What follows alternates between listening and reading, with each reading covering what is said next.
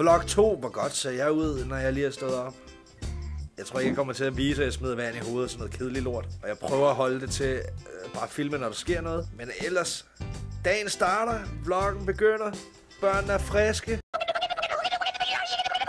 Ruder allerede på mit gulv. Transition incoming. Jeg skal dække hele øh, linsen, okay. Det var et fucking godt trick, nu skal jeg se her.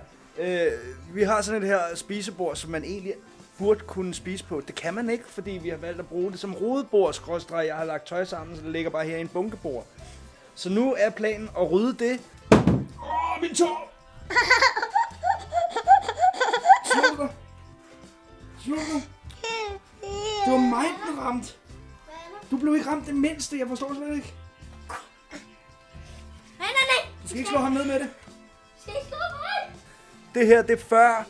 Og så laver jeg sådan en transition. Tada! Ja, det er filmmagi. Det tog kun fire timer. Det er fordi, jeg har børn. Og jeg er alene med dem i dag, fordi min kæreste hun er til det, og min negle, så, så hun er en neglemodel. Hvad vil du nu?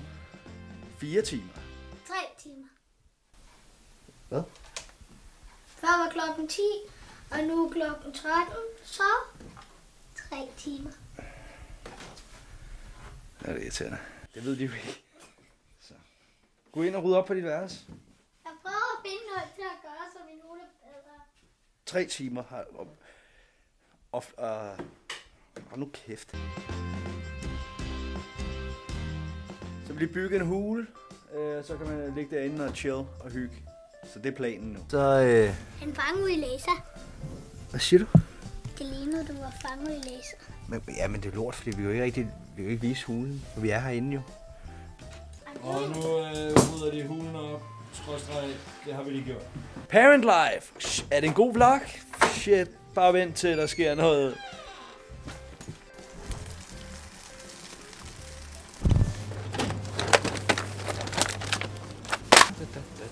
Øver mig i at filme og flit og ligne en idiot. Skal vi have fløde? Så bliver det kraftigt med en god dag. Prøv at se her. Fløde, du kender prisen. Uendelighed. Men... Ak,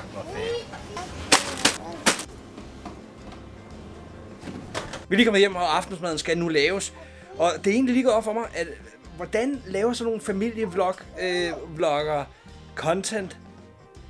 Altså, en familiefars liv er basically røvsyg. Vi har bygget en hule. Vi har set Harry Potter 2. Jeg skal til at lave noget mad. Og når jeg ikke direkte gider udstille børnene, eller sådan hvad, lave content på deres bekostning. Åh oh, nej, lad den kniv være! Se, sådan noget klikbatteri. Kigger du lige op i mit rodskab? Det blokerer jeg. Det gider jeg ikke. Hvorfor er der åben der? Det er da irriterende. Øh, Carlo? Carlo? Stop. Det er ikke en, det er ikke en trappe, det er en, det der... Det, nej, det er ikke en sti. Jamen, jeg skal først lave maden. Nu fik du skuffen i hovedet. Øh, nå. Carlo, nej, sagde jeg med knive. Nu laver jeg mad, noget aftensmad, så de ikke er fuldstændig hysteriske. Og derefter så... Hyggeligt. Fedt. Godt, hej. Formand Søren Pape Poulsen er død i en alder af 52 år. Det oplyser partiet på deres hjemmeside lørdag 2. marts. Pape gjorde sig først bemærket som en kæmpe profil i dansk politik, da han blev borgmester. Søren Pape er død. 52 år. Det fik mig til at tænke på igen. Først da vi, vi mistede vores datter, øh, eller da hun blev dødfødt, der gik det op for mig, at nogen på planeten når ikke engang at få et liv, før de dør. Og når vi så er her, så tager vi det bare for givet og tænker, nå ja, men jeg er også i morgen jo. Men 52 år. Det er mig om 19 år. Og nu har jeg ikke noget stort øh, tilhørsforhold til manden. Øh, jeg har drillet hans ekskæreste, men, men ellers så har, jeg, så har der, der er ikke noget... Øh, jeg synes bare, det er, tra- det er tragisk, at en mand dør. Punktum. Men 52 år. Og så er der sikkert nogen, der sidder og tænker, okay, det er fordi, han er en, vej, en bleg, hvid, skattet, heteroseksuel, øh, homo... Det, fordi han er hvid og en mand. Og det er det ikke. Det, det er også tragisk, det der sker i Palæstina, Israel, øh, Tyskland. Måske, der er, det, kan, det kan da godt være. Fuck, hvor ved jeg ikke, hvor lang tid jeg har igen, så jeg bliver nødt til at nyde det, jeg har. Så jeg gik fra mine børn og Harry Potter 2, for at gå ind på mit søns børneværelse for at filme til det her lort. Nu skynder jeg mig så ind, for jeg gik lige op for mig, hey hov, Jeg, har ikke, jeg ved ikke, hvor meget tid jeg har, så lad os lige være med at spille tiden med det her pis, når børnene er vågne. Du fik den. Nu sover ungerne, og det gjorde jeg også. Øh, men for at vende tilbage til det, jeg snakker om i klippet før med Søren Pape, det er jo altid tragisk. Søren, Søren Pape Poulsen blev under partiets hovedbestyrelsesudgang i går ramt af en hjerneblødning. Men det, det er uhyggeligt, fordi jeg bliver ramt af en hjerneblødning 7, 8, 9 gange om dagen. Ja, men altså, det har du gjort, siden du var teenager. Ja. Jeg, jeg, jeg har ikke bedt om et franskbrød, hvis jeg beder om et råbrød. Nej, men folk kan fejle, og det er Ja, fucking brød. men makrel på franskbrød. Hvad fanden er du? Børnene sover ikke. Hvad skal vi se? Så det jeg vil sige, det er, du skal gå i seng, skat. Hvis du skal med, hvis vi skal ud og hoppe i morgen. Ja, det er det. Vi skal nemlig jump and fun, eller jumping yard, eller the most expensive fun, fun for kids in the world.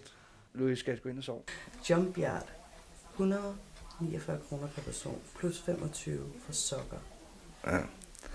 Det blev 522 kroner for, at I skal hoppe i en time. Men må jeg lige sige noget? Nu vi snakker, nu vi snakker om hjerneblødninger. Så bræk noget lige to minutter ind i færdig. Kan ikke brække noget i starten. I bruger hele timen.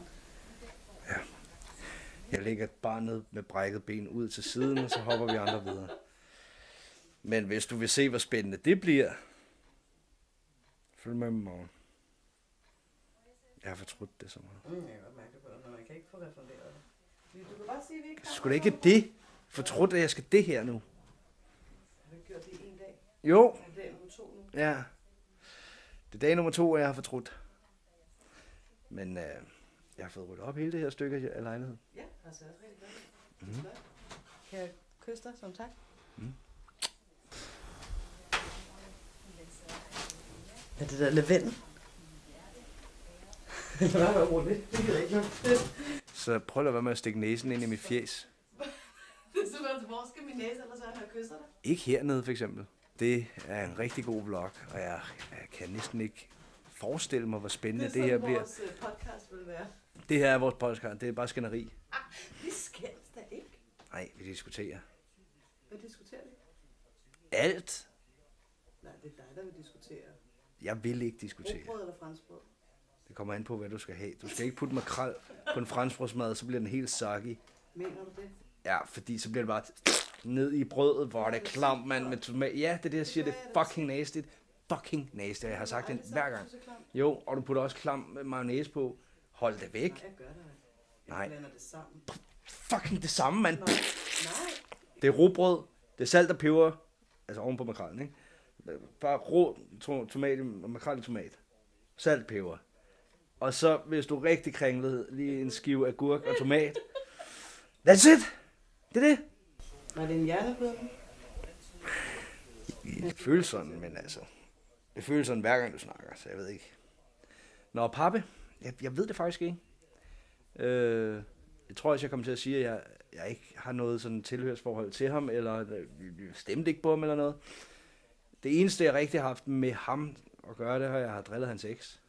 En lille smule. De var ikke ekser, de har bare været på date. Så, så sælger han sig godt nok højt på det, var. Jeg har været på date med en. Det her skulle egentlig være en afslutning, men jeg tror, det bliver hele vloggen. Eller, eller, bare os, der snakker. ja, jeg, Vi diskuterer jo ikke, hvad vi, hvorfor, du, hvorfor vi er uvenner. Jeg er, bare, jeg er bare sur og træt i dag. Jeg, du har været væk hele dagen. Ja. Og nu kommer du hjem, og så har du været nul hjælp. Nu er, du, har været, du har været nul hjælp, siden du kom hjem. Tre, tre år. Hvem har puttet? Tre år, Niller. Hvem? Tre år hvad? Tre år har du været ude og lege komiker. Men, men Og været på tur muligt. syv ud af ti gange har jeg puttet børn alligevel. Nu diskuterer vi, kan du mærke det? Det er mig, der putter børnene. Du vil bare slås. Det er mig. Du vil slås. Så lad os slås. Nøgen. Liggende ned. Hent olien. Jeg har jo ikke nogen retning. Jeg ved ikke, hvad det er. Det, en blog er bare min dag. Min dag i dag har været kedelig. Familiefar lort. Og kæft for lort. Hvis du ser med så langt her, hvad fanden laver du? Åh, klokken blev halv 10 igen. Nu skal jeg sidde og redigere til klokken langt ud på natten. og Jeg gider det, jeg gider det ikke. Det bliver, det bliver mere raw cuttet, det her. Det, så er det sagt. Tak fordi du så med. I morgen, der skal vi ud og hoppe. Og fra på mandag sker der måske mere sådan spil, spil, spilt ting. Så skal vi ud og spille det. Der bliver sp- spil, spilderet. Okay, du kan ikke slutte på. Farvel.